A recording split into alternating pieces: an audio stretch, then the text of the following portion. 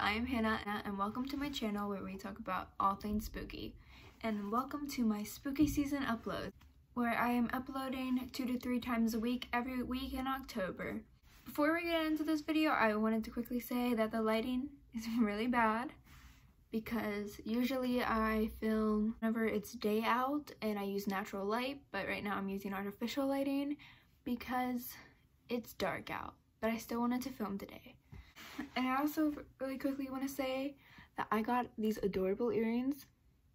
I had them, well, I had them last year and I used them, I think for only like a couple of my videos for my spooky season series on my vlog channel, which was before I made this. And I'm probably gonna wear these during investigations. Anyways, today we are talking about Mandela effects. So Mandela effects are actually more of a conspiracy theory, but I wanted to talk about it today because I found it kind of spooky and I feel like you guys would enjoy that. I really, really have fun looking into those types of videos. If you're not familiar with what a Mandela effect is, a Mandela effect is basically something that so many people believe was one way but it, in reality, it's another way. So like, mm. say cup. We all think it's C-U-P, but if in reality it was actually like C-A-P, which that's not true, but I'm just using that as an example. So Mandela Effects is named after Nelson Mandela because so many people believe that he died on this one day, but in reality, he didn't, and that's actually a day that he got an award. They decided to name that little effect after him. So there's so many conspiracy theories on what a Mandela effect is, but so I'm just going to be talking about, I think, two. The first one is that there are alternative universes and sometimes we get switched into another one and our universe is different than what it was before but I don't I find that one really strange too much to wrap my head around. The second one is my favorite one. I don't really believe this one but I find this one really interesting and kind of funny. This one is that Mandela effects are actually caused by time travelers. You heard that right. Time travelers The theory is that a time traveler went back in time at this one point and it caused the butterfly effect. If you don't know what the butterfly effect, it basically means if something is changed, something big can go wrong. So a time traveler went back in time and changed one little thing and it actually ended up causing all these different experiences, different spellings and yeah. So I find that one really interesting, really funny.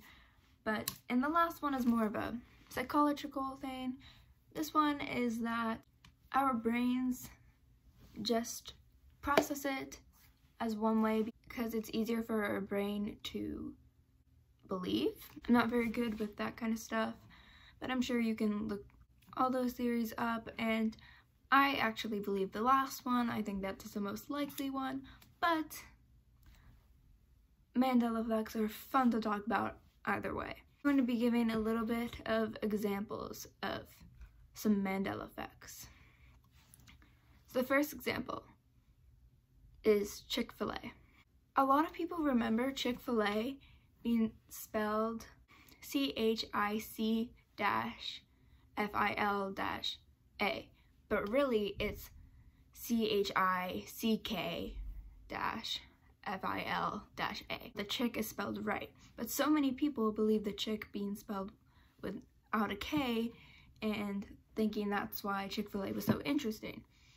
I remember being spelled without a K. Chick-fil-A came to, to my town like two years ago and I still remember this from watching videos of Chick-fil-A. So this one is really crazy to me and that is that in the Star Wars trilogy, whenever Luke Skywalker finds out that Darth Vader is his father, Darth Vader never says Luke, I am your father. No, he never says that. Ever. The line is actually, no, I'm your father. Before watching Star Wars, I remember hearing, Luke, I am your father, all the time. Like, there's shirts of it. There's little ornaments that say it. There's signs that say it. Everywhere says, Luke, I am your father. But he says, no, I am your father. Whenever I watched that for the first time, I was so disappointed. I almost threw something at my TV. Another one is Snow White and the Seven Dwarfs. The evil queen does not say mirror, mirror on the wall. She says magic mirror on the wall.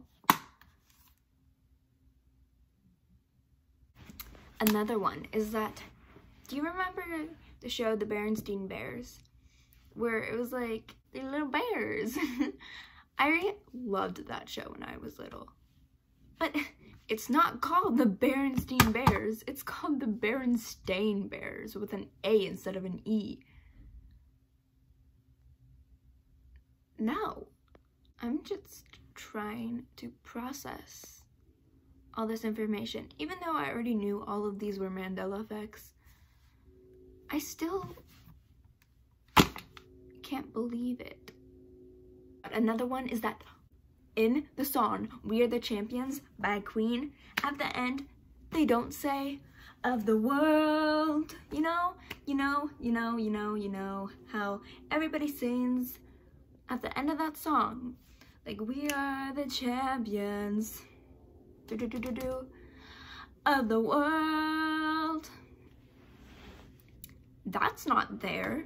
The of the world is not at the end of the song. It just ends. I remember singing of the world at sports games and stuff. And now, like whenever they play that song at football games or something, people still sing that line.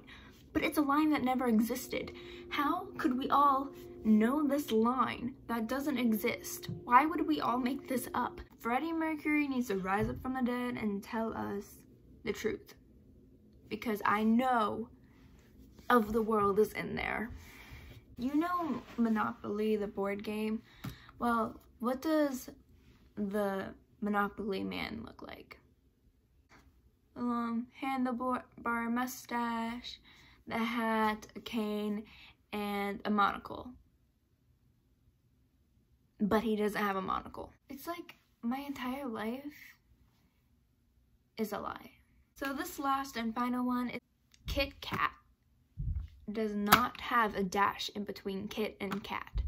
I remember there being a dash in between Kit Kat. False. Those are a few Mandela effects that we were learning about today. I know this video was just me ranting about the way you spell things. None of these are spelled this way. What do you guys think? Do you remember any of these Mandela effects? And if you have more, please let me know, like in the comments. And also, which theory do you believe? Do you believe one of the three that I said? Or do you have another one? So thank you guys for watching, and I will see you guys in my next video. Bye. I really quickly want to say, look at my cute little ears. There are